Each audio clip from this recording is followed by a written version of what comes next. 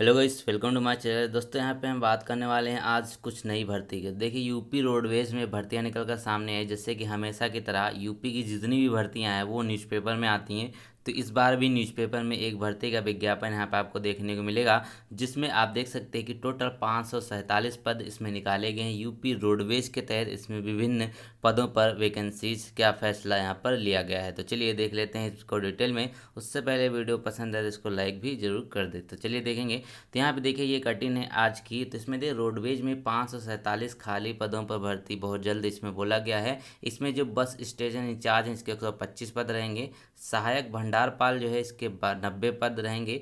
बसों के मैकेनिक 215 और इलेक्ट्रीशियन के 117 पदों पर भर्ती का यहाँ पर प्रमाण जारी किया गया है। अब यहाँ पे इसमें कहा गया कि शासन ने फिर से खाली पद और मृतक आश्रितों का ब्यौरा मांगा है, जो कि शासन को प्रस्ताव बनाकर भेज दिया गया है। भर्ती प्रक्रिया को लक्ष्य बनाकर खाली पदों को भरा जाएगा। ये यहाँ पे परिवहन निगम के जो प्रधान प्रबंधक हैं, उनके द्वारा ये बात कही जा चुकी है। तो ये पूरा ब्यौरा जो है आयोग को भेजा जा चुका है, ऐसी बात यहाँ पर कही गई। अब यहाँ पे देखेंगे, यहाँ पर एक बार फिर से कि पाँच खाली पदों पर ब्यौरा शासन को भेजा जा चुका है, जिसमें 200 दिन होंगे। ठीक है, कहते हैं कि भर्ती का लक्ष्य कम से कम 200 दिन होगा।